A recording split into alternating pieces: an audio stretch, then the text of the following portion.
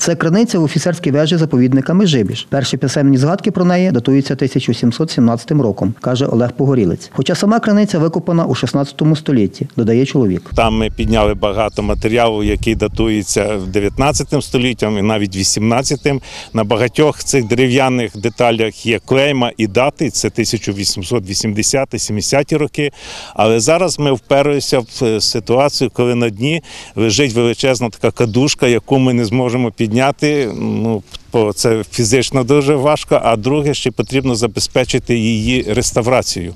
Ось саме зараз ми розробляємо методи, як консервувати деревину для того, щоб потім виставити її і наші відвідувачі змогли побачити. Офіцерська вежа отримала назву від казанок колишнього 12-го Ахтирського гусарського полку. Це кінець 18-го, початок 19-го століть, каже співробітник сектору археології заповідника Межибіж Антон Барановський. Вона складається з двох частин: нижньої вимурованої з каміння 16 століття і верхньої цегляної 19 століття. У цій вежі археологи проводять розкопки криниці, говорить Антон Барановський. Ми докопали повністю до води.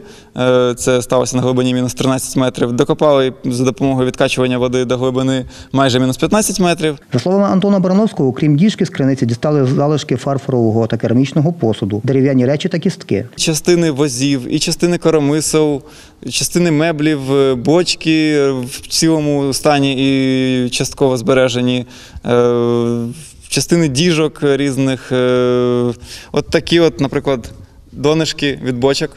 Да? Ну, це частина донишка або кришки.